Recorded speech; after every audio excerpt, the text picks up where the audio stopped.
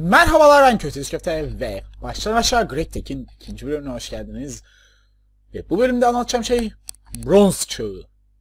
Greg Tech'in en önemli detaylarından biri olabilir. Çünkü başlayamadığınız takdirde Greg Tech'in devamını nasıl getireceksiniz değil mi? Evet ilk olarak Bronz Çağı'ndan başlayalım. Şu makineyle gireceğim. Bronze Workbench.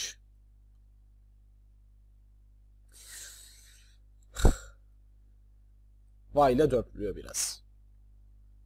Bronze Workbench, bir adet crafting table, hangi tip olduğu fark etmez.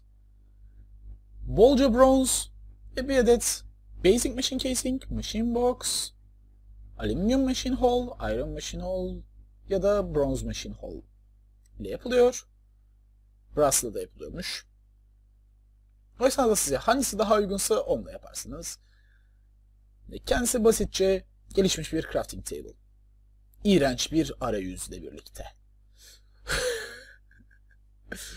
Muhtemelen Greg bu arayüz, bu iğrenç arayüzü sırf insanlar biraz da daha hızlı davransın da sonraki tier'e geçmek için uğraşsın diye yapmış olabilir. Ve bunun yanı sıra yapmanız gereken önemli bir makine daha Call Boiler. İlk yapmanız gereken makinelerden bir tanesi bu hmm, ah, Nasıl yapılıyor diye soracak olursanız bu şekilde yapılıyor. Ve ortaya bir adet wrench gerekiyor. Şimdi bunu nasıl çalıştıracağımıza gelelim. Özür dilerim. Hmm. Buna su sağlıyorsunuz.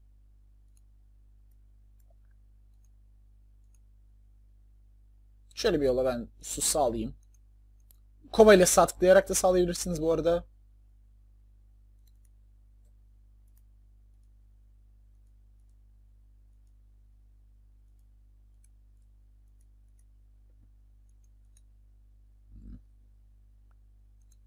Evet. Suyu saldığımıza göre sıra hata dur. Su için Railcraft'ın bir aletini de kullanacağım. Ve GregTech'in önemli bir aletine burada değineceğiz.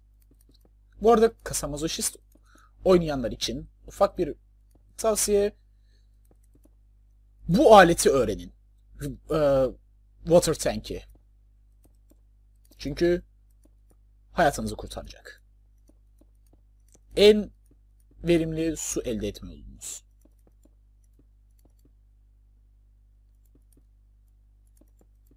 Başlangıç için bu arada bu bir Realcraft item'ı unutmayın bunu.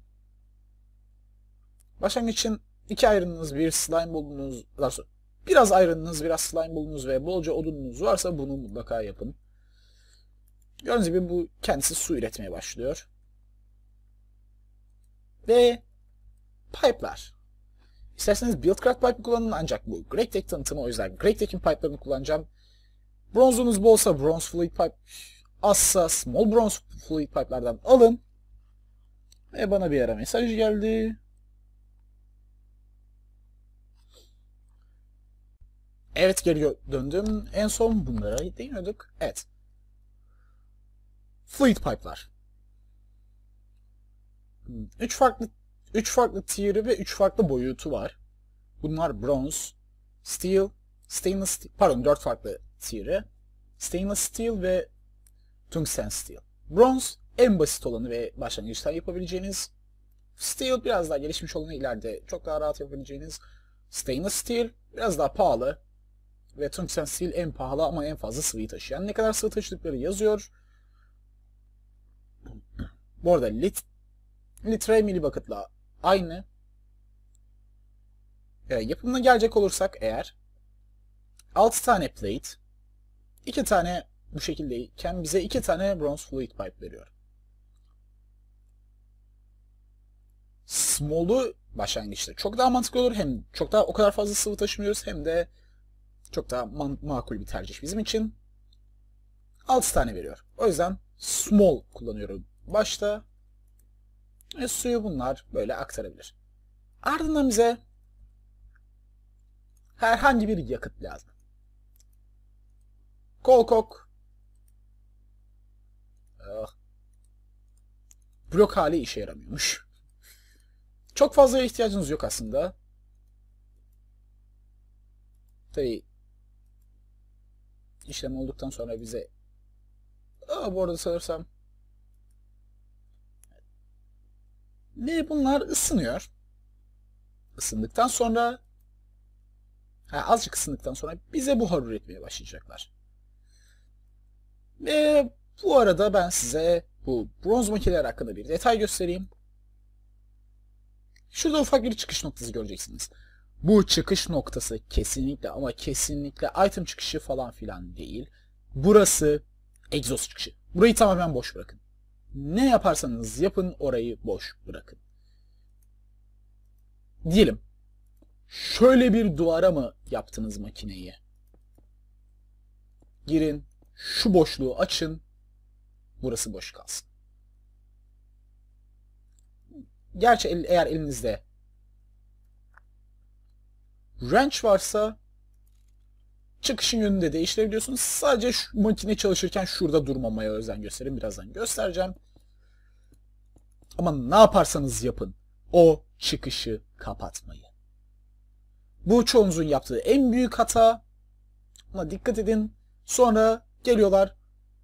Abi Greg makinelerini kurdum. Bir kere çalıştı sonrası çalışmadı. Çünkü egzoz girişini kapattınız. Evet ve bunlar Steam üretmeye başladığına göre şu arkadaşlara Steam sağlayalım. Bu arada eğer Sys Factory Manager kuruluysa bunları kullanarak çok güzel ama çok güzel otomasyonlar yapabilirsiniz. Evet. İlk makinemiz. Buna değinmeden önce başka bir makineye değineceğim. Steam Furnace. Şu şekilde craft ediliyor. Eğer bakacak olursanız recipe'leri normal furnace ile aynı. Olayı normal furnace'dan biraz yavaş. Gördüğünüz gibi biraz yavaş ama çok daha az yakıt tüketiyor. Neticede şu an yakıt vermesen bile bu ısıyı üretecek ve bir süre daha Steam üretmeye devam edecek. Yani buna göre hesap katın. Evet. Sonra devam edelim. Sturdy Grinder. Bu ilginç bir makine. Kendi recipe'leri gözükmüyor. Eğer buna Iron Ore verirsek bu arada bu arada Macerator'ın ilkel versiyonu diyebiliriz. Bundan bekleyeceğiniz şey normalde madeni ikilemesi değil mi? Hayır ikilemiyor. Ee, bu daha çok GreatTech'in bazı önemli madenlerini, önemli şeylerini, normalde madenlerin yan ürünü olan şeyleri elde etmenizi sağlayan bir şey. Her daim elde etmiyor. Belli bir şansla daha dur. Evet, nikel bundan elde edilecek. Steam yetmiyor. Onun için bir şeye değineceğim zaten birazdan. Evet. Bu arada grafik makineleri hakkında dikkat ettiğiniz bir şey içine bir işlem koyduğunuz andan itibaren malzemeleri tüketir. İşlemi kesemezsiniz. Neyse. Bu bu şekilde yan ürünleri elde edebildiğiniz bir şey. Bronz makinelerin wiki linkini atacağım. Orada daha rahat görebilirsiniz. Bunun yanı sıra Steam Smelter. Bu şekilde iki tane Steam Furnace gerektiriyor. Nedir diye soracak olursanız bu arada bunu bazılarınız upgrade edilmiş bir furnace falan zannetmiş değil. Bu arkadaş Alloy Smelter'ın ilkel versiyonu. Bronzla çalışan biraz daha yavaş hali, dersin buharla çalışan ve biraz daha yavaş olan hali fakat hali hazırda Alloy Smelter'ı yapmak için Alloy Smelter verme. Göster. Invar lazım. Invar alloy smelter'da yapılıyor. Copper nickel, copper nikel lazım. Alloy smelter'da yapılıyor. Vesaire vesaire. Kısacası bu gerekli bir makine. Şu ikisine gerek yok ancak buna gerek var. Aslında bu ikisine de gerek var da O kadar. Evet buna gerek var. Onu söyleyeyim.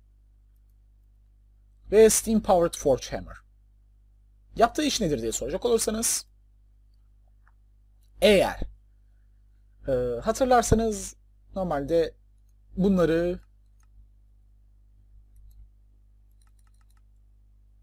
Hı, tamam. Şöyle Hammer'da iki taneyle yapıyoruz. Gene iki taneyle yapıyoruz. Fakat bu Hammer'ımızın durabilitesini yemiyor. Ve otomatikleştirmek için çok daha rahat. Tabi ileride bunun gelişmişi Plate Bending Machine ya da Metal Former ya da Plate Cutting Machine ya da Extruder. Daha gelişmişleri ile sadece bir tane ingot'la bir tane plate yapabileceğiz. Fakat şimdilik bu. Steam kompresör Steam ile çalışan bir kompresör. IC2'nun kompresörü. Gerekli bir makine. Gene. Ve Squeezing Extractor. Elektrik çağına geçmek için bu gerekli çünkü bizim bir biçimde rubber'ı işlememiz lazım. Ve rubber'ı işlemenin tek yolu şu an Extractor.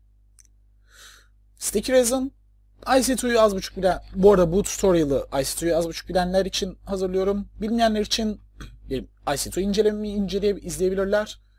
Oradaki pek çok şey değişti ancak temel noktalar hala benzer.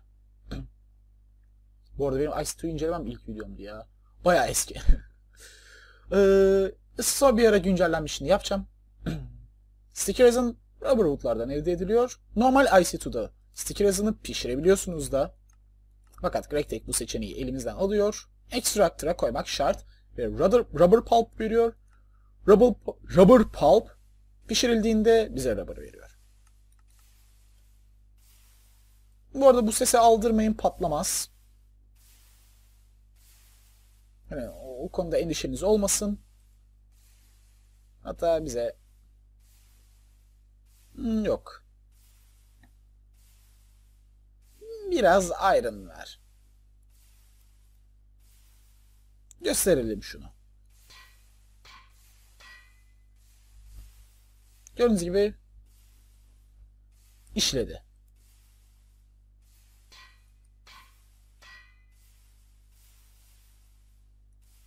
Valla.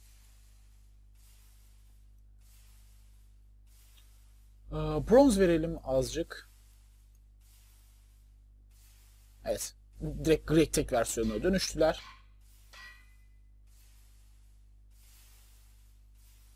Evet. Biraz bekliyor ve şunu buraya aktardıktan sonra ikincisini yapmaya başlıyor. Alloy Smelter'da da ne yapabiliriz?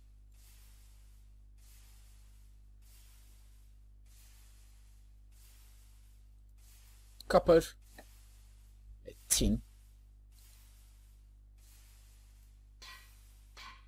Gibi yaptı. Steam Smelter bunları bronza çevirecek. E, bu arada Steam Smelter zaten yapmanız gereken bir şey çünkü şu an elinizdeki tek verimli bronz yöntemi bu. Hmm, tabi bu kablolar aktarmaya yetmedi değil mi? O zaman ne yapıyoruz?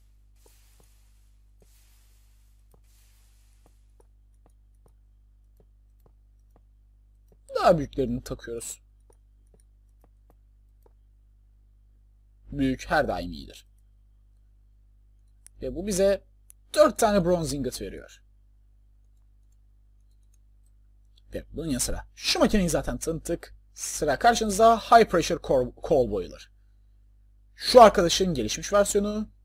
Bunu yapmak için steel gerekiyor. Steel'i nasıl elde edeceğinizi birazdan göstereceğim. Bu arkadaş şuna kıyasla aşırı verimsiz. Bu çok daha hız.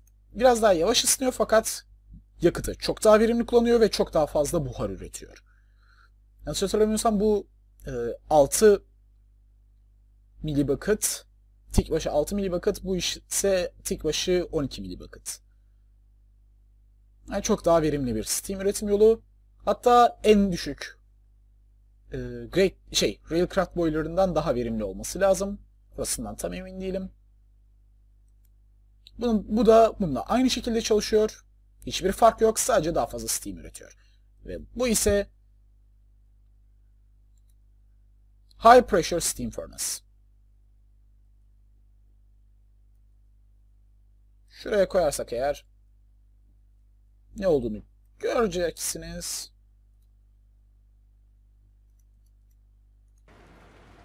Gördüğünüz gibi normal furnace'dan daha hızlı bir furnace. Ama gene Steam ile çalışıyor. Kısacası ilk fırsatta bunu upgrade edin. Ve elektrik çağına bile geçseniz elektrik furnace'dan daha verimli. Bir süre. Upgrade edilene kadar. Ve sıra gel gelelim. Bronze Blast Furnace. Ama bunun için şu arkadaş da lazım. Bronze Blast Furnace böyle basit bir resipiye sahip. Ve şu arkadaş lazım.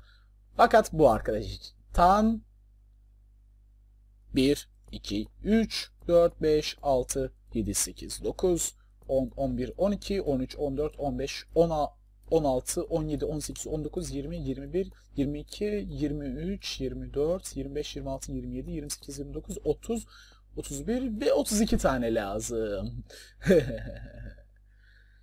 yani kısacası 32 dersi 16 çarpı 6 çarpı 2 kadar bronza ihtiyacınız var bunu yapmak için. Ve bu arada tepesi açık diğer blast furnace'ların aksine ve bunu şu arkadaşı da buraya koyuyoruz. Ve karşınızda Bronze Blast Furnace. Tamamlanmış halde. Ee, bunu otomatikleştirmenin herhangi bir yolu var aslında. Şey, Steve's Factory Manager ile falan otomatikleştirebilirsiniz ya da GregTech'in ilerleyen zamanlarındaki makinelerle otomatikleştirebilirsiniz ama ne gerek var? Ee, GregTech'in makineleriyle. Steve's Factory Manager belki mantıklı olabilir. Ve buna eğer Iron ve Coal, Charcoal ve Coal Coke eğer bir Iron ve 4 Coal koyarsak ya da 4 Charcoal bize 1 Steel ve 4 Dark Ashes veriyor. Aynı şekilde bir Iron ve 2 Coal Coke da bize benzer bir şey veriyor fakat bu, bu sefer Ashes veriyor ve ilerleyen zamanlarda işimize yarayan şeyler.